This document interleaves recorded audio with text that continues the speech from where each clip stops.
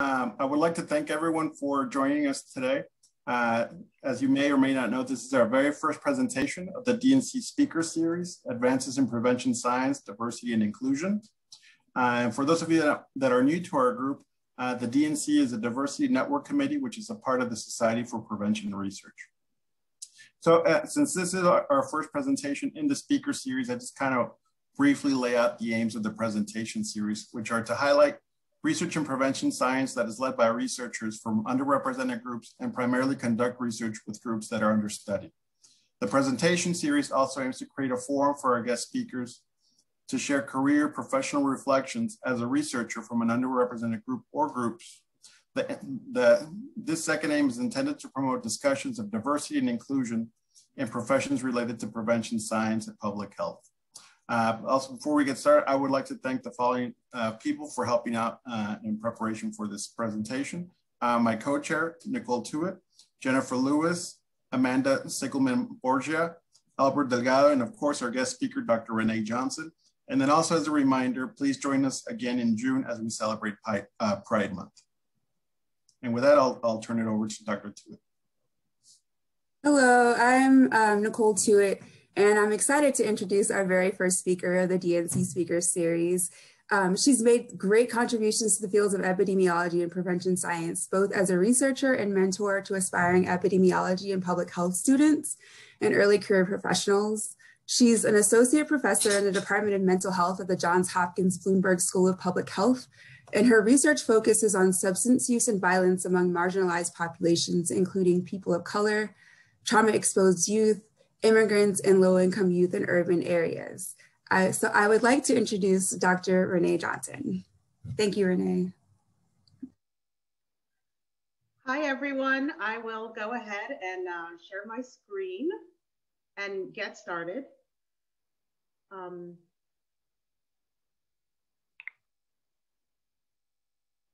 hide video.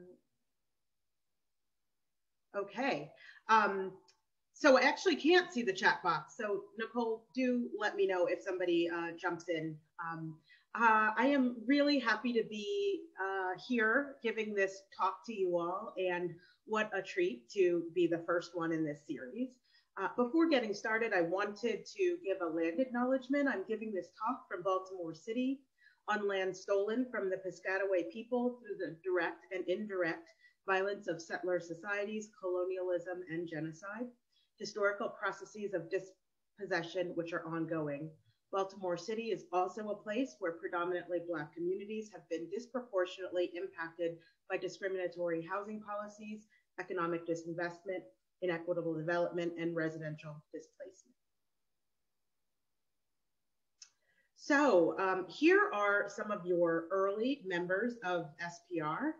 And uh, I, I highlight this picture to say, this was the face of prevention science as I was entering the field. It's not the 60s, it's not the 50s, it's the 90s. Um, it was a, a, field with limited diversity with respect to gender, race, ethnicity, and probably many other aspects. So I think it's really inspiring and admirable um, of the DNC and SPR more broadly to really commit to developing an organization that values diversity, equity, and inclusion. So I was asked to talk about um, overview of my research portfolio, why I chose the career I chose, um, to describe my experience and journey of getting to where I am, and you know, offer any insights I have for other scholars of color. Um, and I haven't really given a talk like this, so I'm going to do my best. and but it may be a little meandering. And I will be talking to Black scholars, other scholars of color, and also um, first gen scholars, queer scholars, and people who are otherwise minoritized. Um, but I do hope it resonates with all of you. So just a little bit about, you know, where I came from.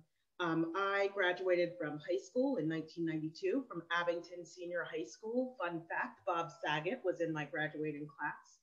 Um, and uh, my family has been in the United States at least since the mid 1800s. Um, my family was in the Glen Camp Plantation in South Carolina near Charleston. after World War II, um, my uh, great great grandfather moved to suburban Philadelphia, Willow Grove specifically, and built a home for himself. And that was actually the home that I was born in. I attended Abington schools where my mother and grandmother before her had gone. Um, my grandmother, uh, schools in that uh, township had integrated uh, by the time my mother was in elementary school in the 20s. So my father was from Philadelphia and he didn't see the suburbs until the first time in the 70s when he was going to college at Penn State Abington, one of the satellite sites for Penn State. And um, he was just mesmerized by how big the schools were and how much green space there was. He grew up poor in Philadelphia in a row house. Um, so one thing he knew was that he wanted to raise his kids um, in a place like Abington. uh, so my father is a really important part of my story. He's incredibly smart, um, but he was always discouraged from getting an education. His counselor in high school said he just simply wasn't smart enough for college. He went to college anyway. Um, his counselors at college said that he uh, wasn't smart enough to be a doctor because he thought maybe I'll be pre med. Um, so he went on to major in engineering. And I find that story very emblematic of my father because he's so literal that he really thought, oh, I can't be a doctor. I guess I'll be an engineer. Um, it's, it's very much his personality. He went on to be one of the first Black engineers at Philadelphia Electric Company in Philadelphia and experienced relentless workplace bullying, racism, and harassment his entire career. Um, we received crank calls regularly. He was called the N word. He was sent nasty notes. This was his work life um, from the time he got his first job in the early 70s until he retired. um, because of his experiences with, uh, you know, work and education. He was determined that his children wouldn't go to uh, go through the same things. Um, and he always affirmed our intelligence. He, he told me all the time, You're the smartest person in your class. Don't ever let anyone tell you that you're not smart. Um, and I think this is uh, something that Black parents do to um, help their kids get through the aggressive educational environments that they experience. One thing he did was make sure we had Black counselors. I was in a predominantly white high school with one counselor, and he said, That's the counselor my kids uh, need to have. So he really didn't want to have anybody discourage us. And um, he took that seriously, and I take that seriously as well. I know that I'm the only Black professor many of my students will ever have, including many of my uh, Black students um, and other minoritized students. And so I take that role seriously and I um, really try to encourage people, remind them they didn't, we didn't make a mistake in admitting you, that you have a bright future ahead. And I think those of you who are working with students, we need to remember to do this. We're good at humbling um, students uh, in our educational programs. And I think we need to be a little bit better at encouraging people and reminding them just how um, much the field needs them. Um, so um, related again to my father, I wanted to major in sociology. And my father being an engineer just was like, but what does that mean? What's your job? There's not a job called sociologist. So being in Atlanta, I uh, found the field of public health and that was a profession and that made sense to him. Like what job can you get? I could work at CDC. Um, so I took some undergraduate coursework in public health at Morehouse uh, College, and Bill Jenkins was my first professor of public health. Uh, Bill Jenkins is a name that I hope you all know, and if you don't, I hope you'll look into him after that. Um, he was the whistleblower for the Tuskegee syphilis study. Um, he worked at CDC. He was one of the first Black statisticians at um, the National Vital Statistics Survey, and he just trained a generation of scholars in public health. Um, so he taught me my first public health class. He just died last year, so it's very sad. He taught me my first public health uh, class. And one thing that he said was that there are only three Black epidemiologists at CDC at any given time. Now, remember, this is the 90s. This is not the 60s. This is very recent history. Um, and he always stressed the importance of having Black people in public health.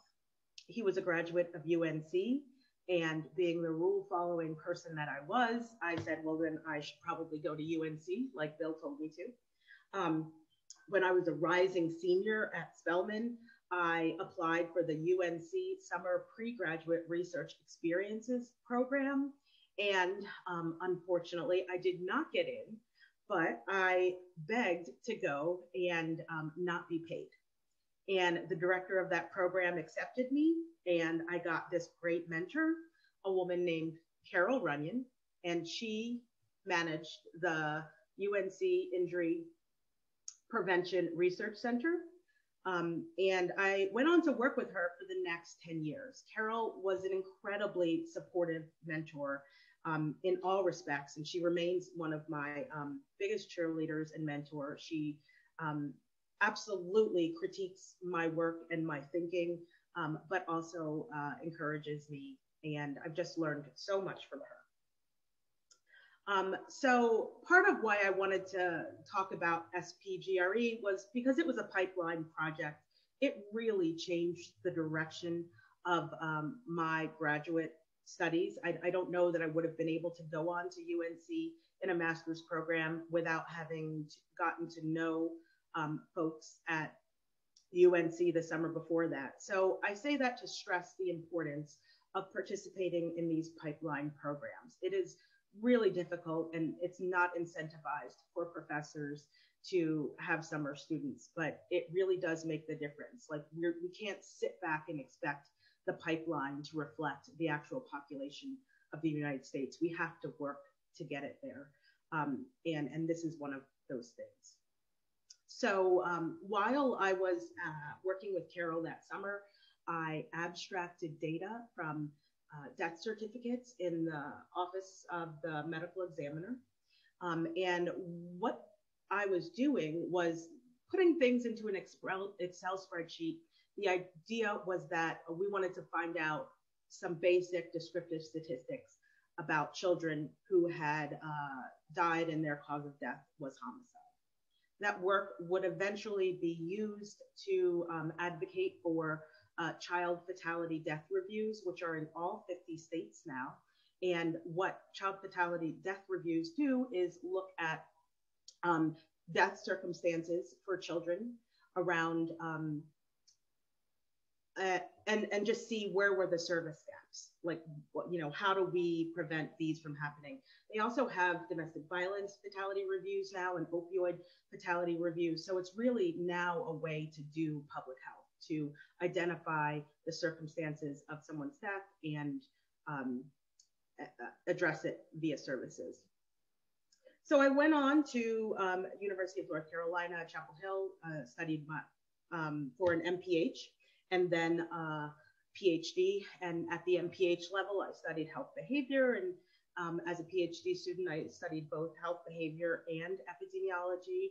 Um, and throughout my doctoral work, I studied injury and violence um, in all of its different forms and focused a, a lot on firearm um, firearms as a threat to public health. Um, and then in 2004, I went to Harvard T.H. Chan School of Public Health as a uh, postdoc and worked at the Harvard Youth Violence Prevention Center. So I have expertise in social science, epidemiology, and public health, and my research is broadly centered on understanding and addressing behavioral health of adolescents and emerging adults. I'm particularly interested in vulnerable youth, including low income youth, urban youth, LGBT youth, uh, immigrants, racial and ethnic minorities, and youth who have been exposed to trauma and violence. Um, as I mentioned before, I have a strong background in injury and violence. I've studied suicide, firearm injury, child maltreatment, family violence, interpersonal violence, including fighting uh, dating violence and assault. Um, but most people today know me as a substance use epidemiology and are in fact probably wondering um, how I am talking about all this injury stuff. Um, and that's because I really changed the direction of my research around 2010. Um, with the help of Dr. Deborah Furr-Holden and Nick Ialongo, I was awarded a Career Development Award from NIDA in 2010. And um, there were a lot of reasons why I applied for that award, uh, but one was that there wasn't a ton of funding uh, in youth violence research, and I didn't uh, know how to build a career in it. So I thought putting um, substance use epi, epi, onto this would um, allow me to, you know, be in a more fundable field. And I really learned a lot, and it rounded out what I understand about injury and violence. So, you know, just focusing on injury and violence, um, I was missing part of the picture. So now I feel like I'm a much better person to understand the breadth of public health issues among adolescents and emerging adults, given my familiarity with injury and violence and substance use. Um, so I study all of the drugs of, of abuse, um, and my focus has been marijuana um, or cannabis. So the again, I'm going back to the purpose of this talk. Why did you choose the career uh, you chose and your research focus? Um, and I'd say I chose it because I was interested. I was I'm a social scientist at heart, um, but I was committed to studying a topic that would result in a job and that would result in social change. So not basic social science, but applied social science. I also really like that public health enabled um, me to use many different disciplines. So math, social science, natural sciences, history, etc. I was at a liberal arts college and I believe in liberal arts um, education and the way that I could apply all of the different things I was learning um, to a field were very appealing to me. Um, also, I just, I think I got here, I know I got here because of early exposure to incredibly supportive mentors through pipeline programs. I mentioned SPGRE, but there were many others. Um, and I was also exposed to public health early. Many of my colleagues who didn't go to college in Atlanta, who didn't have people from CDC coming, you know, to give talks at their undergraduate institutions, didn't realize what public health was until later in their careers. So I was really lucky, and that um, underscores to me the importance of us letting, getting people um, to know what public health is. I think COVID has sort of done that very quickly, um, but it remains a task we don't want people to not know what public health is until they're applying to public health uh, PhD programs. Um, and I think I was also um, somebody who tended to get immersed in a field of study and then become fascinated by it and committed to doing research on it, like whatever it was that I was studying. I was studying cheerleading injuries, which sounds kind of like boring when you think about it, but it was fascinating to me that you know, they were building these three person period pyramids and then would have catastrophic injuries and um, broken backs and things, and that simple policies at the state and schools levels could really change that. Um, so it was it was fascinating. Um, so I sort of loved thinking about violence and all of many solutions to violence, and I still love thinking about um, substance use epidemiology and where we're going with that. And I'll talk a little bit more about some of my lessons in substance use epidemiology as well. Um, and then the final thing that sort of shaped my um, research focus is pragmatic decision making about topics that were of interest to NIH. And I, um, I don't say that lightly. I, I probably would have kept going with violence research and never, you know, applied for a substance use grant if I hadn't um, needed uh, an, another opportunity for funding. And I just grew so much as a scholar by doing that. So it's important. Sometimes we just say, oh, we have to chase the money and NIH only funds X, Y, and Z. But sometimes that, that works out to your benefit. Um, just saying. Okay, so I am going to um, uh, transition. But what I wanted to do first, which is see if there's anything in the chat, if anybody looks like Nothing. Okay. Um, so I will just keep keep on going. Um, so I was going to end with um, advice, but before that, I wanted to just talk about some of the research on adolescent marijuana use that I've done and, and lessons learned. So I've been really deep in the weeds of um, cannabis research over the past 10 years. And um, here are like what I would say are my main take home um, lessons. One is it's important to take a historical perspective. I find that people tend to think, you know, um, drug use is going up and up and up and up, and especially with all the passage of uh, marijuana policies, that it's certainly going up. But when you look at the long term data, that's just not the case. And I think it's important that we get that out there so that the general public doesn't just has a better sense of how marijuana use has changed over the years. It was highest in the late 70s and it's never gotten that high again. About 75% of high school seniors um, reported lifetime use of uh, cannabis in, in the late 70s. And it's, it's more like 40% now. Two, to add even more complexity, is, is it's going down. Overall, there have been uh, declines since the early 90s, um, though declines in cigarette smoking and alcohol use have been much steeper and much more dramatic. Um, and I, I, think I'm preaching to the choir here. This is likely due to alcohol and tobacco control policy. There has just been so much work, especially done by this organization, to really change um, underage alcohol and tobacco use. And that has made a difference. We have really engineered um, drugs out of the lives of young people, I think much more than would have ever been considered um, possible back in the mid 80s. Three, I think it's important to look at sex differences. I, I, people tend to control for sex, but there, there's a story to be told in sex differences. And one story regarding drug use is that there's a narrowing of the gender gap over time. And this is particularly true among Black adolescents. So, for most drugs of abuse, um, boys have a higher prevalence of use. Girls have a lower prevalence of use. That gap, gender gap, was particularly high among uh, Black boys and girls, and now has um, narrowed. Um, one finding that I am, you know, observing right now is that there is no sex differences in non-medical use of opioids. Um, and I sort of wonder why that is. I, I, think that's telling us that when there's a drug out there that uh, girls can use and it doesn't, um,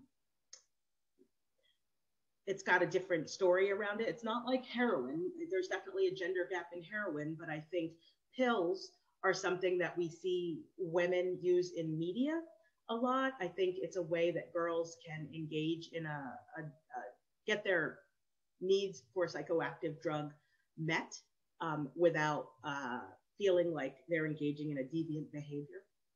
Um, but I think it's also quite dangerous. So that's something we need to think about. Um, over time, I've also really started to get attuned to developmental differences. There's a big difference between early adolescence, mid to late adolescence, and emerging adults. Um, we see this in marijuana use. Use among early adolescents is declining the fastest, um, whereas use among mid to late adolescents is declining more slowly, um, and among emerging adults is increasing. I think we have to think more about emerging adults. Uh, folks were so concerned about increases in marijuana use that they um, sort of forgot about emerging adults. And what happened is that there weren't increases among early adolescents or mid to late adolescents, but there are um, increases among emerging adults. And there's lots of reasons for that, but there's also reasons to be concerned about that, particularly when you think about the social and economic context of emerging adulthood today. The economy simply doesn't work for emerging adults like it did for my father's generation. My father spent $200 on college a semester. Um, young people in the 50s and 60s could afford to eat and get an apartment, maybe even have a really cheap car. Um, and those things are just not possible for emerging adulthood, um, for emerging adults these days. And combining um, these political economic forces with a bleak outlook and substance use is, is a dangerous combination and one that I think we need to think about. I've also looked a lot about the uh, differences in marijuana use and drug use more broadly across race and ethnic groups. And uh, one thing that I've observed is that declines in marijuana use have been less steep among Black and Latinx youth. youth. Um, and also that Asian youth consistently have lower rates of use.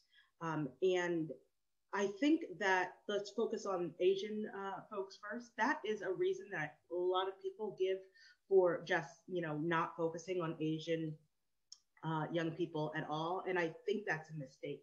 I've done research where I've looked at different Asian nationalities, and the there's a lot of homogeneity, uh, heterogeneity. Um, so I think even though overall um, Asian young people tend to have lower levels of drug use and uh, violence for that matter, um, means that we should uh, look deeper, not, not ignore that picture. Um, but declines have been less steep among Black and Latinx youth, and I am not sure about the reason for that. And it, you know, it may be that the changing legality um, makes it more appealing or less not appealing. Um, it may relate to age differences. So maybe um, their Black and Latinx youth are older than their same grade peers, and that's um, look uh, manifesting this difference. I think that's certainly the case for um, Latinx youth, and um, it could be the gender gap. So the increases in uh, girls, uh, Black girls, substance use may be making that decline look slower. Um, black girls in the 80s and 90s had such low levels of um, drug use and smoking in particular that the CDC did focus groups to find out why. And so I think there's a lot going on, um, but it's important to um, look at different groups, look at the epidemiology of different groups um, legalization doesn't make kids use. And I feel like I can't say this enough. People really expected that, you know, we'd pass medical marijuana or pass retail marijuana and then everybody would be using. And that's just not the case. And if you think about adolescent culture, it makes sense that it's not the case. Adolescents have more access to marijuana than any of us adults. All they have to do is go to high school and sell some and find someone who's selling weed as adults within a you know prohibition framework we've got to find somebody who's probably not in our social network um, and, and it's just really that much harder. Um, so it's it's not a real surprise to me. The other thing to remember is that young people um, have always grown up with some sort of legalization. My niece is 16 and um, she's never lived in a world where there hasn't been some legal marijuana in some US states. Um, so, you know, the idea of it of complete prohibition is just kind of um, not in their worldview. It's like um, same sex marriage to young people. They haven't lived in a world that doesn't include it. Um, okay, two more findings. Uh, seven is reverse gateway. I've been interested in this idea. So, you know, back in the 70s and 80s, substance use uh, work with adolescents really showed that folks started with tobacco, then moved on to alcohol, and then moved on to marijuana. And the longitudinal research was so precise that it was, you know, you start smoking cigarettes, six months later, you might have used alcohol, and within a year, you're highly likely to use marijuana. And that has really changed. Um, so what we're seeing increasingly is that people are initiating their substance use with marijuana. Um, and I'm, I'm, terming that the reverse gateway experience uh, sequence. Um, and Black youth are more likely to initiate with marijuana than white youth. Um, and that's not surprising given that white young people will probably have more access to alcohol in their homes.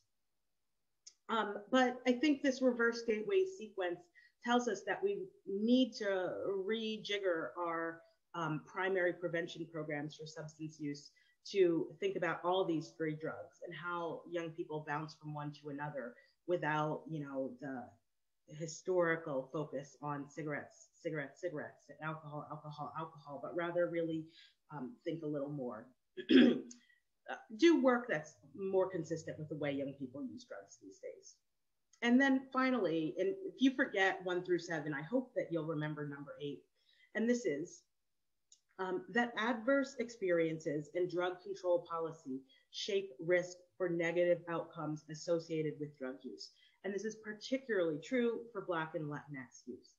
And what I mean by that is, um, you know, a young person using marijuana in one culture um, who, you know, maybe has plenty of money, has two parents who love them, um, probably won't have negative outcomes.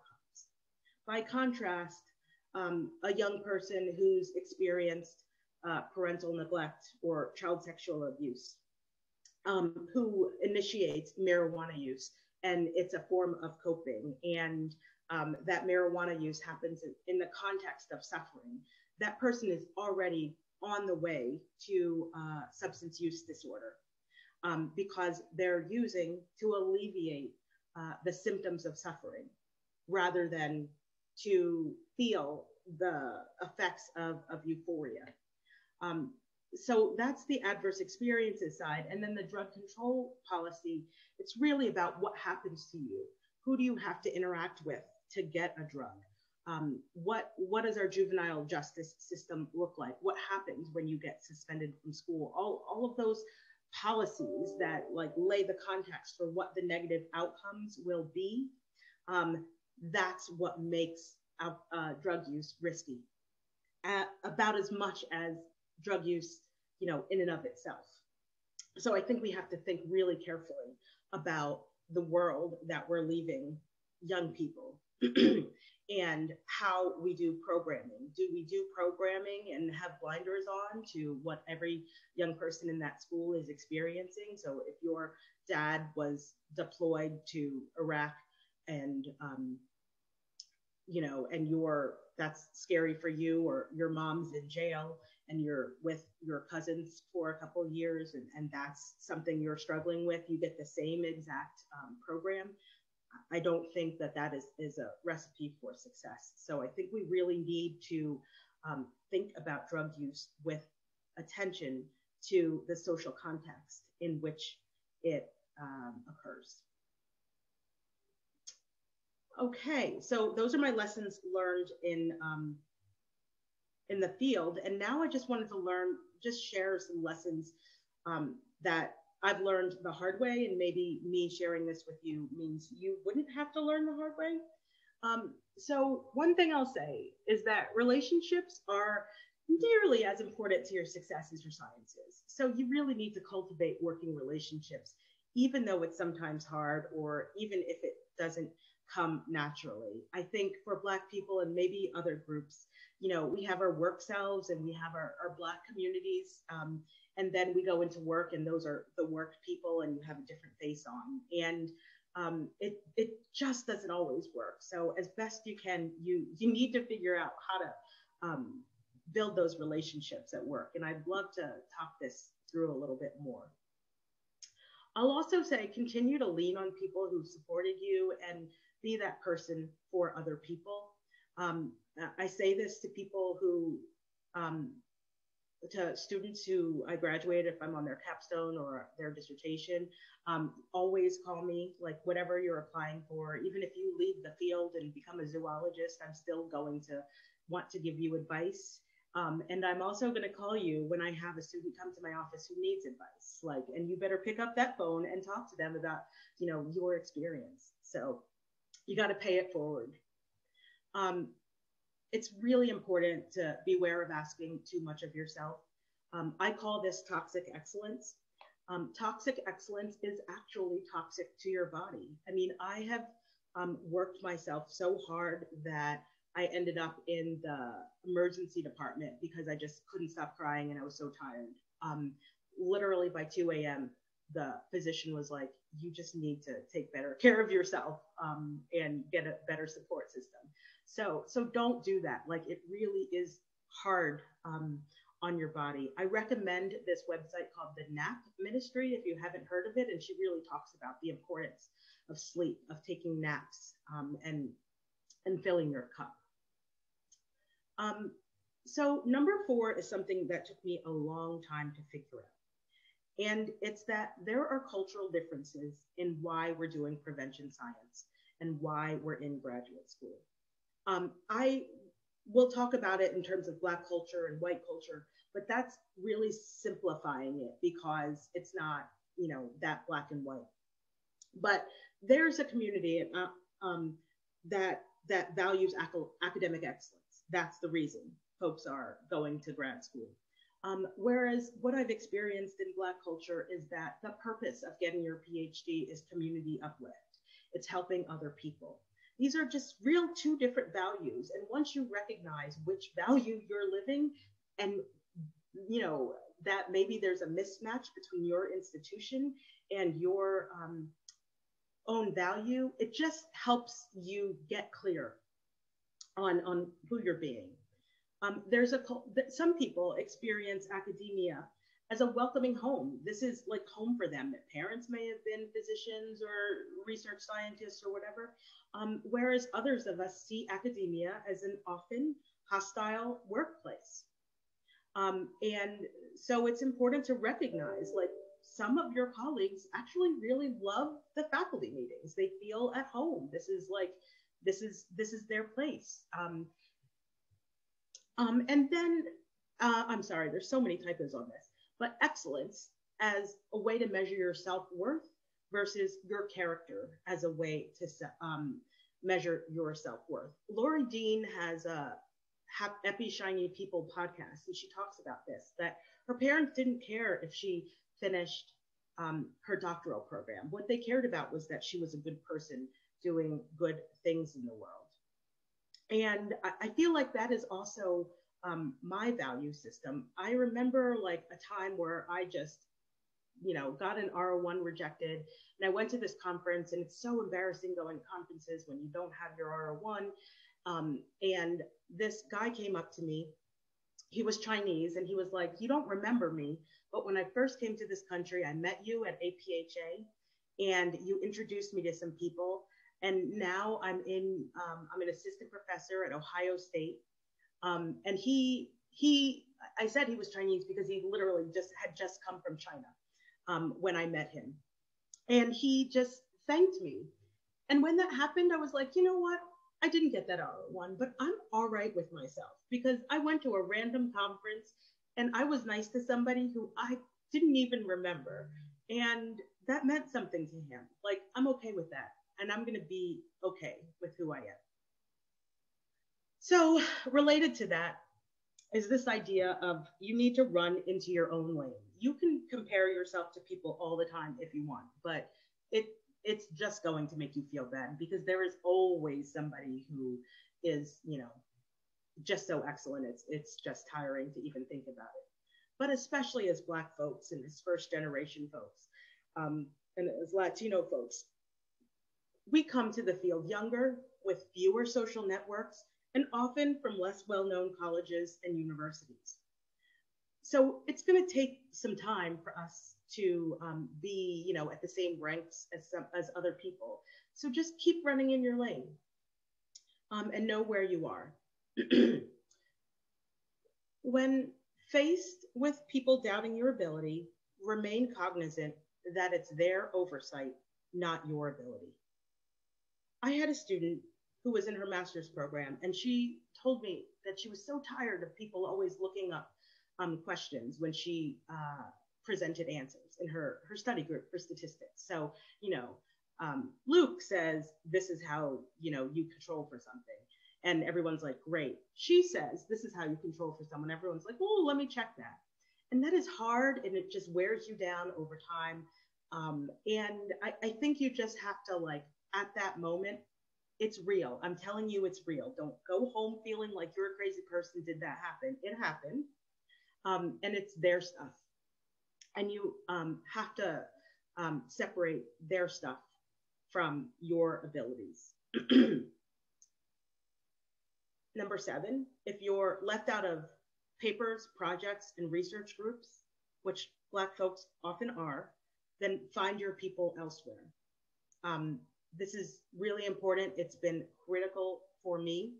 Um, and sometimes it's just really nice to have a group of Black women I'm just working on a paper with, and we can all have our bonnets on and talk the way we want to talk and get this paper written and support each other. It's really, really um, important. So, you know, if you're, it's it's wonderful if you're getting those invitations from people in your field, and if you're not, you do need to figure out um, you know, why aren't people inviting you? Maybe talk to your chair or, or whatever. But in the meantime, find a group of people. And, you know, even if their research areas are a little different from yours, find something you can collaborate on because it, you just need people who you can work with and talk and talk to. It's very affirming. Number eight is really important. It took me a long time to like get this. Recognize when you're having a trauma response and work toward not responding personally. So there is a lot of um, aggression in higher education. And it's not like, hey, I'm going to punch you in the face aggression. It's, you know, not inviting you um, somewhere or, you know, not being direct about something. and I took that personally and over and over again. And um, that's the way academic culture works. And it's strange that it's not personal, but it's not personal um, even though it feels personal. Um, and you have to recognize when you're having a trauma response and try to deal with it rationally rather than emotionally. I hope this is resonating. It's, it's a very difficult concept um, to respond to, but I feel like there were there have been times um, when I was walking around feeling just mad at everybody and it was just me having this trauma response as if I were in middle school and all the girls said they hated me um, because I didn't get invited to be on a project or something. And I needed a better way to handle this. So, you know, when things like this are happening, talk to someone who you trust and figure out a healthy way to cope with it. Um, number nine is really a re reiteration of some other things that I've said, like wherever you are, you need to make it a home. Um, you know, if you're in Nebraska um, and there's nobody like you, go beyond your institution or figure out how to make a home within your institution. I talked to a Latina woman who went to Hopkins in the 70s. And she said, like, there was no diversity in the 70s, and they had something called the Third World Club. And this was, you know, the the you know couple of black people, the couple of international students, the like one or two Latino folks, um, but they just made a community. And everybody needs people who you don't have to work to be around. So, so find those people. Um, and then finally, you'll get a lot of criticism. Honestly, put down the criticism because it's not always useful. Um, you know, if you are always getting bad course evaluations, maybe just don't read them. Like you don't need it. If you've worked hard and you stand by the decisions you've made, don't let 21 year olds saying that you weren't organized, you know, bring bring you down. Just let it go. Figure it out next time. Um, when you have a faculty review, they're always going to say you need to do more of this or more of that. Plan a nice dinner for yourself or a movie or something. But you just, there's so much criticism in academia constantly. And it's important that you just take a break from it sometimes. Like, of course, when um, you need to focus on it and address it, address it. But other times, you know, just let it let it go. So with that, I am going to um, stop my sharing and just chat with you all, I guess. So we had a few questions and comments. Thank you so much, Renee, for that. That was really great. That was awesome. Um, and we had a, a, few questions and comments in the chat box, with the first being from Alex. Um, she said, thank you so much for your talk, Dr. Dan Johnson. Do you have any advice for obtaining funding slash recognition for interdisciplinary research, especially social science, public health? I have found that social science funding agencies find health issues too sciency and health science agencies find the social the social aspects too social. So do you have any advice on obtaining, you know, funding when you're interested? Yeah, I, I do think that's, there's OBSSR at NIH um, that might be of interest. And like, I would look at Russell Sage and um, RWJF, but it is a, a, a, a road to toe. And I, I feel like I do social science until I talk to a sociologist or um, an anthropologist. And then I'm like, oh, wow, I do not do that. I don't even know what you're talking about. So you need to like find somebody who's also toed that line at your university, like maybe somebody with a joint appointment in arts and sciences and public health. Um, I, I also have a comment from Susanna um, just uh, saying thank you and uh, requesting for, um, you know, she would love to talk with you. And so Renee, I will um, copy this so she provided contact information. Okay. To make that connection, so I can do Great. that. I see uh, Kate uh, said something. Yeah. Thank you for your comment, Kate. Yeah. And I'll get in touch with the Hawaii people. Um, yeah. Leslie, hi, Leslie says, any suggestions for white faculty who, like me, are mentoring minoritized students and want to help them to uh, establish colleagues, but without overburdening and over-servicing um, faculty college? That's a really good point. Um, I mean, I think maybe just always giving people an out, but I also, I think white faculty need to get more comfortable just talking about race. Um, I, I think often Black people will mention race or this happened to me, and then some white people just get stiff immediately. And, and as a Black person, you know, okay, this is not somebody I can have that conversation with. They're already afraid. So I think, like, to ease the burden that faculty of color have, white people just have to get more comfortable. Um, and it's you're, you're going to say something wrong, like I say things wrong, um, and and apologize but um, at the same time, you know, I think we all just need to do that lift. But I am somebody who likes it when my white colleagues send me um, a researcher of color, particularly for folks in schools where they just don't have any black faculty. Like, I mean, it's just needed. But always just give them it out and just say, you know, is it okay if I do this? And um, you know, you can feel free to talk to them in six weeks or two weeks, whatever works for you. But I, I wouldn't stop doing it.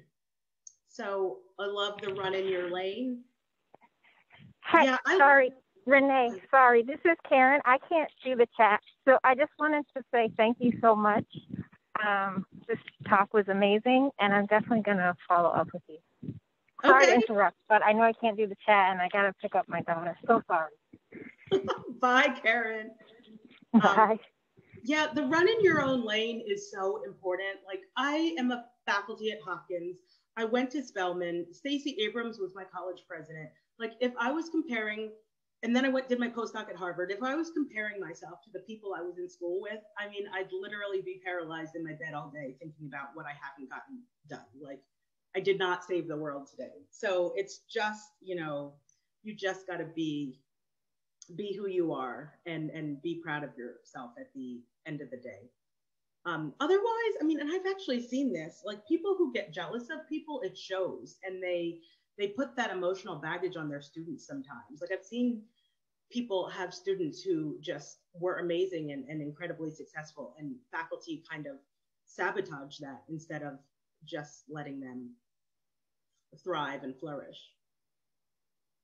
Um, Kathleen Herzaya, what do you think about reaching out to Black organizations to get them engaged in prevention of substance use? Um, I think that's a good idea. And I think focusing on adverse childhood experiences, trauma responsive um, approaches, and uh, drug control policy and equitable drug control policy is probably um, the key to that. But I, I, think Black organizations are on board with um, prevention of substance use. I, uh, maybe they're using different words than what has been used, and they're probably quite skeptical of, you know, school-based approaches that are just really education and, and fancy slogans and stuff. And rightly so, I'd agree with that, being skeptical of that. Um, but I say go for it. Um, can you talk more about your career development award and changing your research focus?